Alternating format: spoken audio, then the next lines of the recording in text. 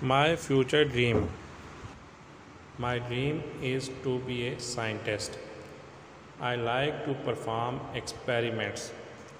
I want to make a big discovery through my experiments and become the greatest scientist in the country. I also want to win a Nobel Prize.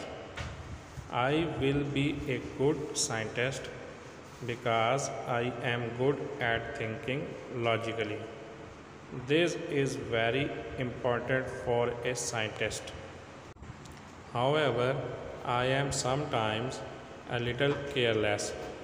I need to pay attention to details to be a good scientist. One day I will make my dream come true. Thank you. For more essays, please subscribe this channel.